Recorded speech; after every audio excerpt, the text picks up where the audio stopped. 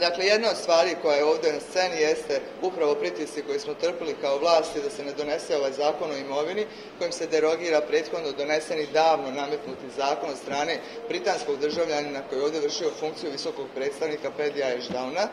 i s obzirom da je Narodna skupština usvojila taj zakon, on je došao naravno kroz svoju proceduru do predsjednika Republike na proglašenje, na potpis upućivanje na o službenu objavu kako bi naravno nakon toga stupio na snagu. I naravno da vjerujem da sve ovo što se dešava vezano za sankcije ima i tekako veze upravo sa tim činom iz prostog razloga što je traženo dakle da preuzmem na sebe taj veliki rizik i odgovornost, a to je da ne potpišem taj zakon i zašto sam obrazložila da naravno i onda kad se ne bi slagala ne bih išla protiv volje Narodne skupštine zato što je Narodna skupština sastavljena od narodnih poslanika iz različitih političkih partija koji su direktno izabrali građani Republike Srpske. I zato što smatram da kao neko koji je također izabran od strane građana Republike Srpske imam puno pravo, ali naravno i ogromnu obavezu da slijedim i poštujem ono što je volja građana Republike Srpske, a njihova volja je jasno manifestovana kroz Narodnu skupštinu time što je izglasan taj zakon. Smatram da su ovo, naravno, kao i one sve dosadašnje sankcije koje smo imali prilike da gledamo ovdje ili da osjetimo ovdje pojedini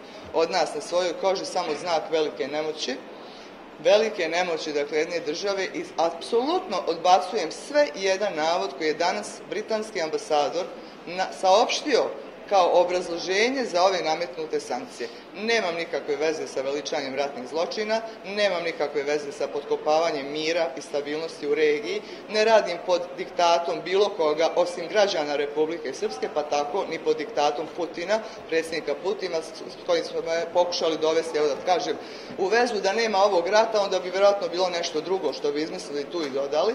Prema tome odbijam sve što je vezano za te navode. Da je ovo sinhronizovana akcija, vidi se po ovakvoj jednoj koordinisanoj aktivnosti ili reakciji koja dolazi od bošnjačkih političara koji su listom iste sekunde, neki su čak mediji mijenjali kako šta saopštavano u toj koordinisanoj aktivnosti, mijenjali svoje objave ili izjave saopštenja na tu temu, ali isto tako način kako su to pozdravili bošnjački političari mi jasno govori da ovo ima veze samo sa politikom, da ovo ništa nema veze ni sa kakvim pravom, da ovo nema nikakve veze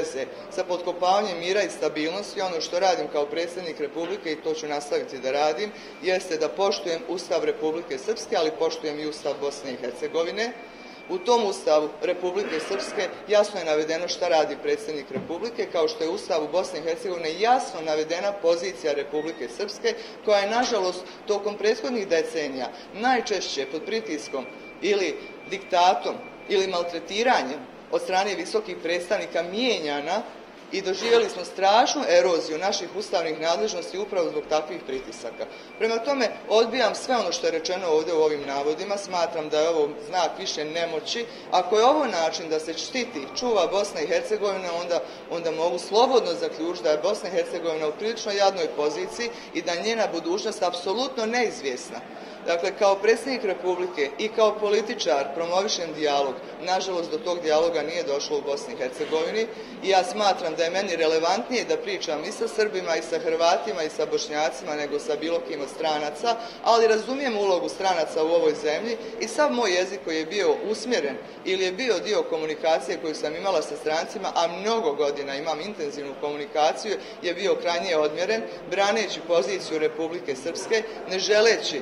da na bilo koji način dajem kvalifikacije koje ne mogu da obrazložim ili koje ne mogu da odbranim i za kojih ne mogu da stanem i kao političar i kao čovjek i kao građanin Republike Srpske. To što oni to vraćaju na ovaj način, ja nemam ništa protiv toga, apsolutno rekla sam rizik da ulazim u konflikt sa Narodnom skupštinom, neću da preuzmem na sebe. Poručila sam im prije nekoliko dana da vrlo pogrešno drže sva jaja u jednoj korpi, a ta sva jaja u jednoj korpi su vezana za predsjednika Republike od kojeg su tražili da zaustavi zakonodavni proces koji je počeo ovdje u Narodnoj skupštini slobodnom voljom narodnih poslanika i političkih partija koji su registrovani za izbore, koji su ušle u Narodnu skupštinu, koji ovdje imaju svoje predstavljanje, koji imaju svoje glasače i za koje konačno glasaju građani Republike Srpske. Prema tome, za mene je ovdje stvar jasna, ovo je velika manipulacija, znak nemoći. Ja naravno razumijem koliko je veliki svijet i koliko su važne i koliko može da uticaja ima svako od ovih velikih država,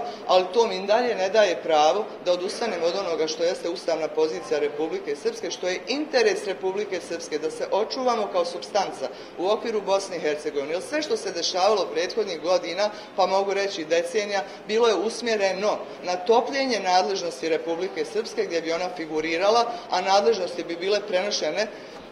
listom na Bosnu i Hercegovinu. Pri tome, kao svjedok svih ovih događaja prethodnih decenija vrlo jasno prepoznajem da nijedna od nadležnosti koja je prebačena na nivou Bosne i Hercegovine nije doprinijela da mi danas živimo u boljem, ljepšem, razvijenijem društvu, nije doprinijela tome da imamo sistem koji će biti efikasniji, koji će biti jeftiniji, koji će biti prihvaćeniji od strane građana, koji će doprinijeti nekoj unutrašnjoj koheziji. Ništa od toga se nije desilo. Dobili smo skuplji sistem, manje efikasan, manje efektivan, manje po volji građana Republike Srpske i sistem koji nije naslov naslonjen na Ustav Republike Srpske, ali ni Ustav Bosne i Hercegovine. Prema tome, moja uloga je da štitim Ustav, da radim u interesu građana, ne vodim ovdje računa ni o kakvom svom komoditetu, nemam nikakve račune, nemam nikakvu imovinu, nemam ništa što bi me na taj način pogodilo, ali znam i razumijem da ovo jeste politička poruka svim političarima iz Republike Srpske koji se drznu da zaštite Republiku Srpsku ili da stanu u zaštitu njene ustavne pozicije, njenog ustavnog položaja. Ja to razumijem. Brzina kojom je gospodin ambasador potrčao da obrazloži da ovo nije usmjereno protiv građana, moram reći da se ni sa tim dijelom ne slažem. Usmjereno je zato što su predsjednika Republike izabrali građani Republike Srpske većinskom voljom na izborima koji su bili fair, slobodni, demokratski organizovani u skladu sa svim standardima koje propisuju, da kažem, međunarodne organizacije ili međunarodnim standardima koji su na sceni. Prema tome, smatram da ovde, dakle, mogu samo da dodam tu jednu stvar koja je važna, a jeste da vjerujem da Republika Srpska hoće, da može i da imamo pravo da se odbranimo u budućnosti od svih nasrtaja, da ne dozvoljavamo sebi da budemo uvučeni u razne velike igre ili svjetske igranke. Mi smo mali igrači, ovo je mala zemlja, mi ne možemo da se petljamo u velike stvari,